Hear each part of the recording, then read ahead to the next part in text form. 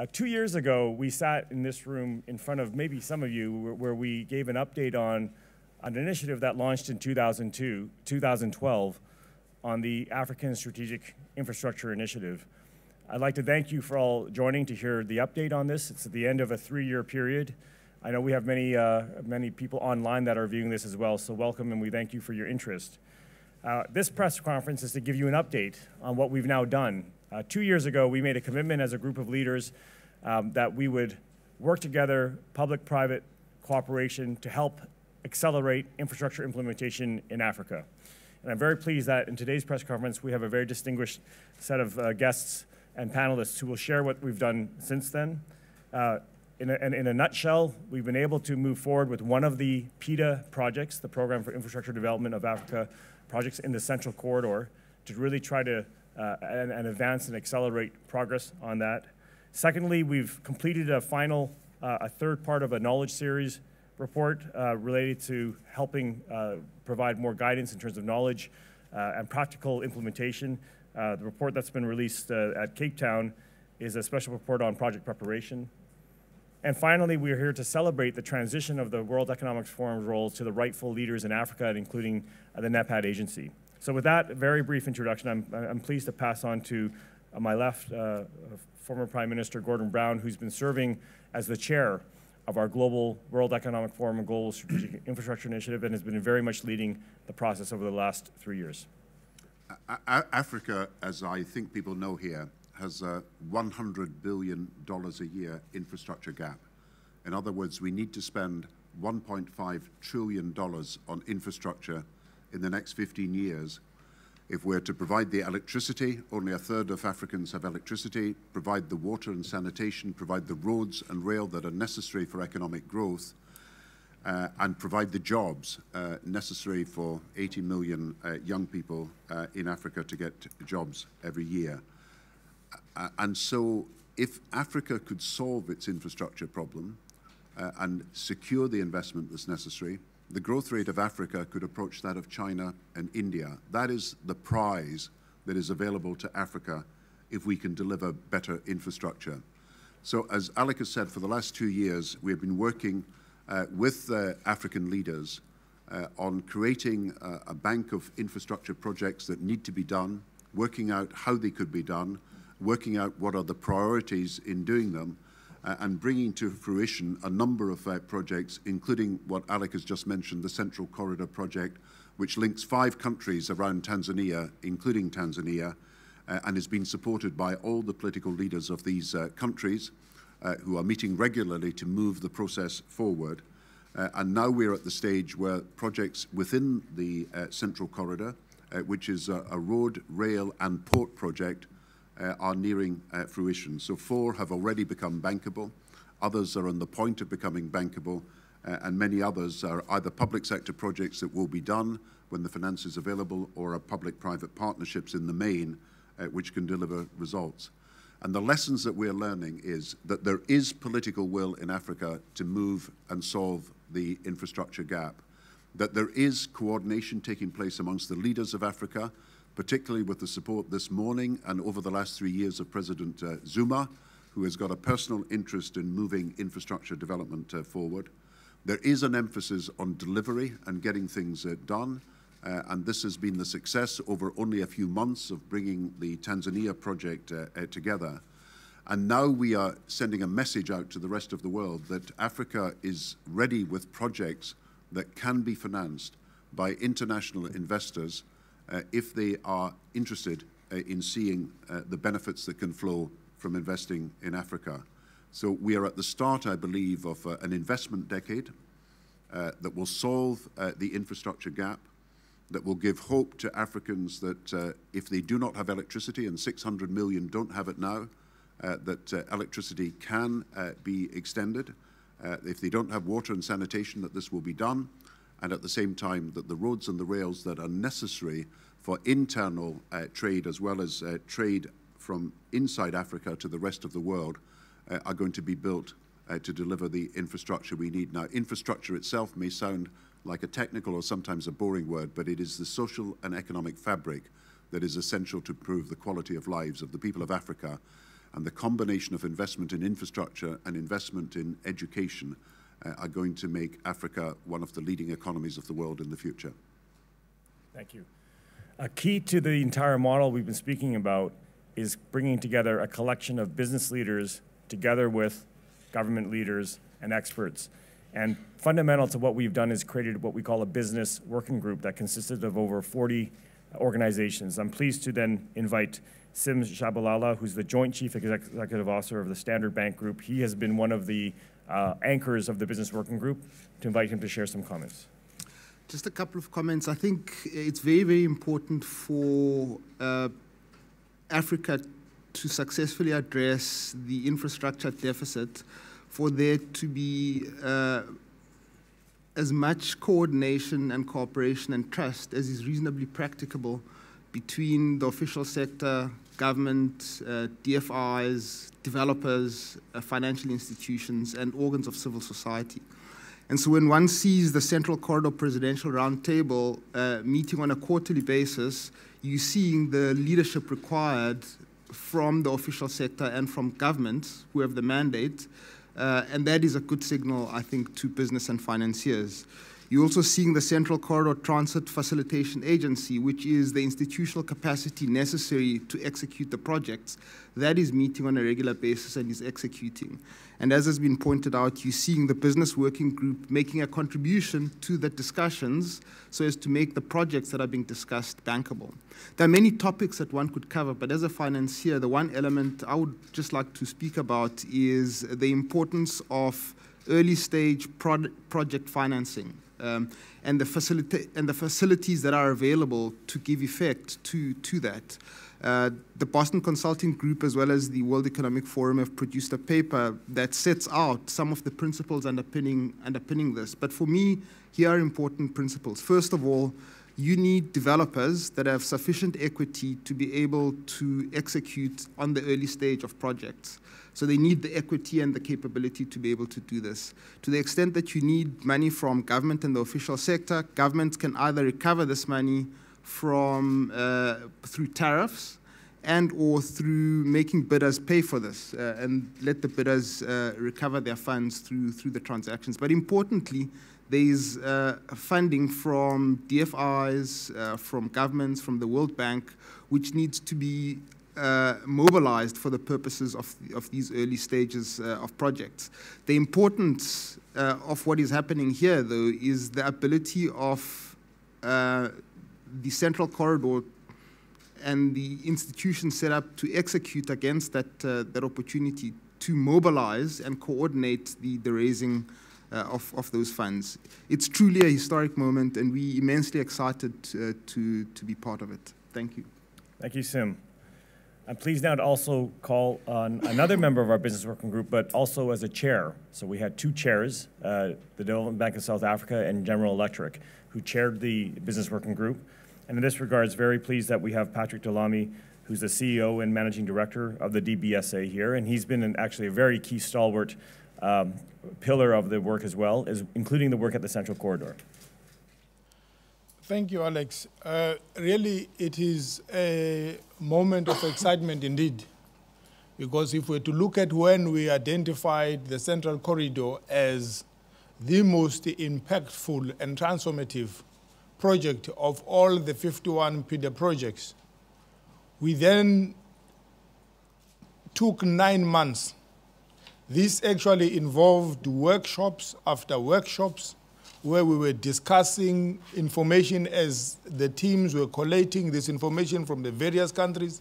But the best thing was the political leadership that we saw in the five Central Corridor countries, where they set that coordinating agency to say then each country will then make sure that the, uh, their agencies coordinate and contribute and forward information to that to the coordinating agent, the CCTTFA, that then we were able to collate the data and package this data and then analyze and putting our money into, in, into preparing, the, preparation, preparing, preparing these projects so that they are ready for presentation to the Presidential Roundtable on the 25th of March this year, where the president from the five Central Corridor countries were present, And on the 26th, we then were able to present those projects, the 23, 23 projects that were presented to the investor community. We had over 200 investors in Dar es Salaam in Con- Convention Center. And I'm quite excited because in the manner that we presented those projects, we presented projects that were ready for, invest, for investors. We presented projects that still required further project preparation and projects actually that we still then need to put together and drive further.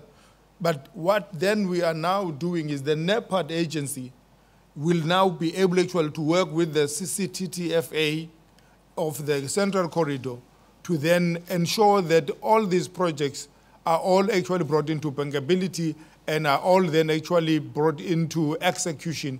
But the leadership that has been played by the World Economic Forum in really bringing together all the various parties, it was a classical public-private partnership situation that we saw delivering such a massive project in a very short space of time, which then says going forward, the other 51, the other 50 PIDA projects, we then can be able to really replicate the same model and framework to drive those projects into bankability, wherein we can get the investors to participate.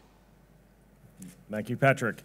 And uh, a core government partner or intergovernmental partner that we've had throughout the whole process, of course, has been uh, the NEPAD agency, the African Development Bank, the African Union Commission. And in this regard, as mentioned by Patrick, we're very pleased that with the uh, kickoff that we've uh, lent, we're now very pleased and honored that we can hand over the mandate of the Secretariat in terms of accelerating the other 50 projects to the NEPAD agency. Uh, the World Economic Forum will remain committed to supporting infrastructure development in Africa with some uh, future work and including supporting Dr. Mayaki. But may I please call on Dr. Ibrahim Mayaki, who's the CEO of NEPAD Agency, to make some comments. Thank you, Alex. Uh, uh, I would like to say three, three quick things. Uh, the first one, Africa did put its house in order in what relates to infrastructure development by designing PIDA. But we didn't have a governance model in the implementation of regional infrastructure projects.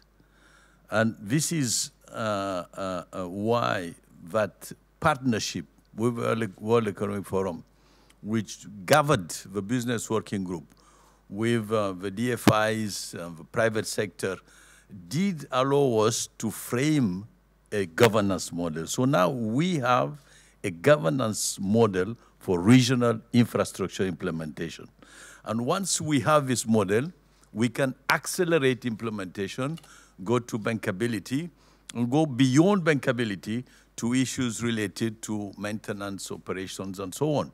So the emergence of that governance model is a key achievement of the business working group.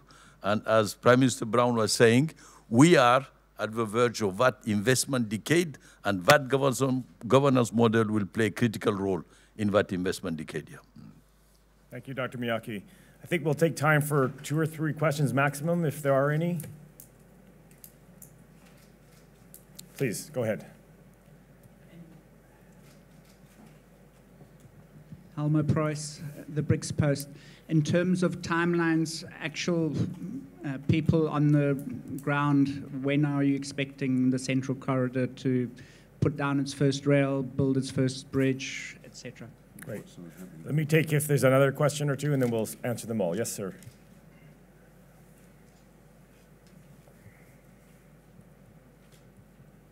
Uh, thank you. Uh, it's Mzwande Limbeji from SABC.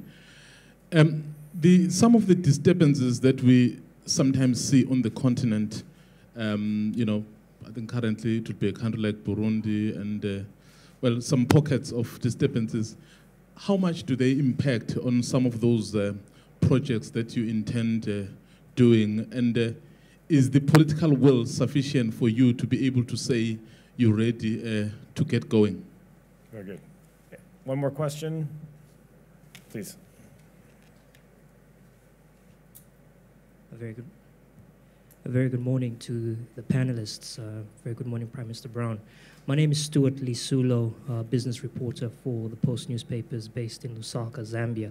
A very quick question. Um, I come from a country where the government in the last two to three years has gone to the capital markets to finance infrastructure development. Both in 2012 and 2014, they issued, there was a, su- a successful issuance of a sovereign Eurobond for $750 million and $1 billion in 2014. The question I wanted to ask Mr. Brown, Prime Minister Brown, is is it sustainable to um, contract debt to finance uh, infrastructure development on the massive scale which the Zambian government is planning to do? Great. So I think let's answer those three questions. Again, the first one was a little more detail on the timeline on Central Corridor. The second was how do we deal with political uh, uh, risks that will inevitably occur in any uh, region of the world? And finally, a question specifically on the capital markets and the financing. Um, Mr. Brown, Prime Minister Brown, perhaps you can take the first answer. Well, in, in a way, the, um, the Central Corridor is already starting. These are projects that are now underway. Uh, I said that four had already been uh, financed, other uh, four on the point of being financed. Uh, out of uh, more than 20 uh, projects that have been the that make up the whole of the Central Corridor. So there will be road, there'll be rail, there'll be port development, and I, I, think we're already seeing the beginnings of what's happening. As far as uh, uh, the risks are concerned, th this is uh, what we have got to show the world, that the perception uh, of uh, risk, or the risks that people perceive are far less than the actual risk. Of course, you've got to deal with um, currency risk, regulatory risk, you've got to deal with construction risk, uh, you've got to deal with what's generally called political risk. But I think the continent is now ready to show that we can actually minimize uh, these uh, risks and make the projects that uh, we're talking about acceptable to investors. Because when we're talking about 1.5 trillion of investment, that cannot all be generated from within Africa. It's going to be generated from support from the international community, and we will have investors from all over, over the world. The political will, I am absolutely sure, is being proven to exist. When you have uh, five leaders meeting regularly to discuss one project, and when you have today President Zuma lending his weight to the whole infrastructure uh, delivery uh, uh, project that we're engaged in, and when you have the African Union next week uh, going to be discussing these very big questions of infrastructure, you can see that the political will exists not just for the Central Corridor, but for the North South uh, Corridor, for the Inga project, which is a major project to deliver hydroelectric uh, power into not just the DRC, but into the whole of Africa. Uh, these are projects where it's clear to me that the leaders of Africa now know that the growth of Africa and employment in Africa and the quality of life in Africa uh, depends on, on these things. As far as the capital markets uh, are, are, concerned, I mean, of course, in every uh, country there's a level of debt which is sustainable uh, and a level of debt beyond which uh, people are not going to lend uh, uh to you. Uh, but that depends on the individual circumstances of the country. It depends on what its uh, general surpluses and deficits are. It depends on the growth of the economy. All these things have got to be taken into account. Dr. Mayaki, on the political risk, since you have the overall mandate on all of the 51 projects, how would you want to give any additional thoughts back well, to that question? Let, let me refer to the fact that I'm the interim CEO of the African Peer Review Mechanism, which looks at uh, um, governance on the continent. What we found, uh, what we find is that uh, the governance indicators have uh, been improved substantially, and that uh, political risk has been uh, reduced in this continent. whether you take the Mo Ibrahim Index on governance, or you take the reports of the African peer review mechanism, the strong trend is a strong improvement on governance issues. And uh, then uh, uh, governance issues are linked to political risk. Uh, more and more stability does exist. It is true that we have pockets of uh, insecurity and pockets of disturbance, but uh, these pockets are also being managed by the African Union in a very organized way, which was not the case uh, 15 years ago. So I think we shouldn't uh, uh, um, uh, put too much emphasis on that issue. It is an important issue, but progress, significant progresses are being made in the domain. Great. I think we are out of time, but unless Patrick or Sim, did you want to add anything really quickly to answer the questions?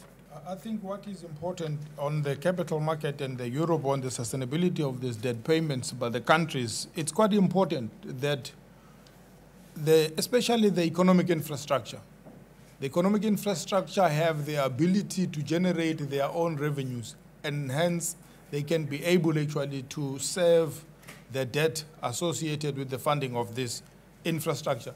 It becomes quite important that then in the, in the structuring of these deals, the, the, the, the hedging mechanism and the hedging strategies to try and manage the currency risk, especially if we were to raise uh, bonds in, in, in Europe, in, in euros, and we are coming actually to, to fund a, a project inside Zambia, and Kwacha, and the fluctuations actually of the exchange rate between the Kwacha and, and, and, and, and the hard currency has got to be well managed to make sure that the commercial viability of the project is well protected. But I think it's something that we are seeing more and more element of servity and innovation in the structuring of these deals.